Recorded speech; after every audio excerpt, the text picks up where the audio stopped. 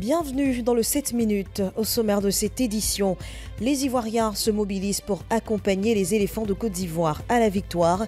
Les pachydermes ont été bien accueillis à Boaké où ils affrontent les aigles du Mali. Le ministre des Transports satisfait des travaux d'avancement de la ligne 1 du métro d'Abidjan. Des détails dans cette édition. Et puis, rencontre entre secrétaires de section et membres du bureau politique du PDCI RDA et comité de base du parti Gonaté, localité située à 22 km de Daloa. Objectif élargir les bases du parti.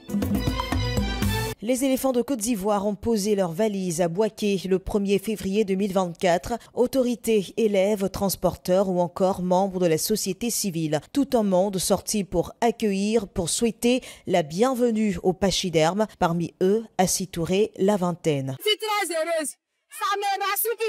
Jouer parce que que c'était un rêve, m'émotionne qu'ils vont venir jouer au stade de la paix de Boaké. On les attend avec pour prendre, Inch'Allah. On va les écraser 4 à 0. Pour rappel, les éléphants affrontent les aigles du Mali pour une place en demi-finale ce samedi 3 février à 17h GMT au stade de la paix de Boaké.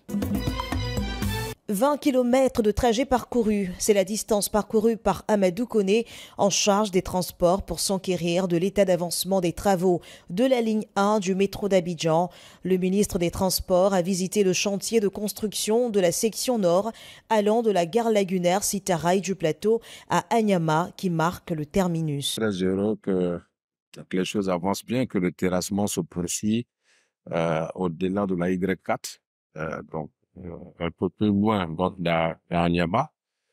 Euh, nous ferons donc la section sud euh, donc très prochainement. On a également euh, noté que euh, euh, donc les délais pour le terrassement, la fin des terrassements est déplacée. Donc la Lourde Citaraï est toujours maintenue, les travaux avancent bien, ça devrait être achevé au mois de juin donc prochain. Après quoi, euh, donc on va euh, finaliser euh, donc le terrassement pour la partie euh, métro et puis accélérer donc les travaux. Le métro d'Abidjan, avec une longueur de 37 km de tracé entre Anyama et l'aéroport international Félix Houphouët-Boigny de Port-Boué, va assurer le déplacement quotidien de plus de 500 000 passagers. Il permettra de fluidifier les déplacements et de décongestionner le Grand Abidjan. Sa livraison est prévue en 2027. Faire des études en Inde est une grande opportunité découverte aujourd'hui par Claude Ivan au Salon des études en Inde. Il envisage désormais d'y aller pour approfondir ses connaissances en contrôle de gestion. C'est vraiment cool pour nous puisque le programme aussi est de trois ans et on peut ressortir avec un diplôme accrédité par tous les pays du monde. Avoir des expériences, travailler avec des professeurs de qualité, de renom. Chose qu'on n'a pas toujours, ce n'est pas pour dire qu'on n'a pas ici, mais chose qu'on n'a pas toujours ici et aussi leurs diplômes sont accrédités par tous les pays du monde. Et aussi, quand j'ai vu les écoles, je voyais qu'ils étaient quand même 19e sur des milliers d'universités. Et cela, vraiment, c'est vraiment génial. L'ambassade de l'Inde en Côte d'Ivoire, en coopération avec Connecteurs des Peuples et IS Africa, a organisé la deuxième édition du Salon des études en Inde. Objectif, permettre aux participants d'interagir avec un grand nombre d'universités indiennes et d'avoir des informations détaillées sur le système d'enseignement supérieur en plein essor dans ce pays. We want now, et notre objectif aujourd'hui, c'est de faire la promotion de l'éducation à travers le monde. Et aujourd'hui, nous sommes plus focalisés sur les pays au niveau de l'Afrique de l'Ouest. L'avantage de l'Inde, c'est que nous, ils ont, nous avons toutes ces spécialités-là. Et en plus de ça, les, formations se font en anglais. Donc, quand les étudiants finissent, ils sont automatiquement bilingues. Ça fait qu'ils sont des, des, personnes qui peuvent travailler à l'international dans toutes les structures du monde. Cette deuxième édition, nous avons euh, pu mobiliser davantage d'universités, donc un large panel de possibilités de formation. Nous avons aussi vu la possibilité d'initier un début de collaboration avec des universités locales, de telle sorte que les étudiants qui ont le bac de plus en plus jeunes ici commencent sur les deux premières années pour aller terminer, par exemple, en Inde en obtenant une double diplomation. Donc, nous sommes en train d'aller plus loin que 15e salon. C'est vraiment une coopération éducative que nous voulons mettre en place. Ce salon est ouvert de 8h à 17h les vendredis 2 et samedi 3 février 2024. 10 bourses de prise en charge totale sont disponibles ainsi que des bons de réduction de certaines écoles allant de 50 à 100%. Le PDCI RDA travaille à élargir ses bases à l'intérieur du pays.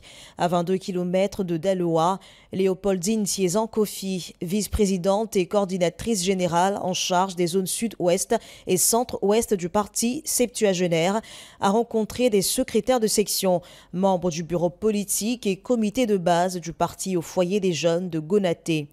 Objectif informer les militants sur l'état d'avancement des instances dirigeantes du PDCI et remobiliser les bases pour les idéologies du président Tidjan Nous cherchons à positionner le parti où il était avant que Oufoué et Bédier ne quittent cette terre. Et je leur ai donné quelques ingrédients pour que, en partant dans leur section, qu'ils utilisent. Déjà qu'ils se mettent à jour de leurs documents administratifs. À leur tour, les secrétaires de section du PDCI de la région ont rassuré la coordinatrice de leur engagement pour la cause du parti et de restituer le message une fois à la base. Je veux la cohésion. Le président qui est venu, il veut la cohésion. Et le président Kofi, elle est bien. C'est une femme qui est généreuse, qui peut sauver la région. Vous savez, si les hommes ont échoué, si la femme fait tout, pourquoi pas ne pas le faire? Nous, les hommes, on a échoué. On n'a pas pu réunir nos parents pour une cohésion. C'est qui tire, couvert vers lui pour dire que c'est moi qui suis ici. À Dalois, c'est miné. Mais moi, je suis là pour choisir un leader qui peut nous diriger. C'est mon coin, ça.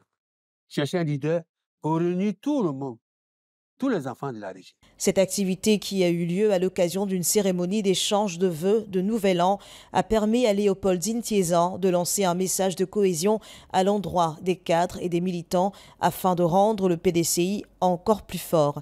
C'est la fin de ce 7 minutes. L'actualité continue sur cette info et sur cette info.ci.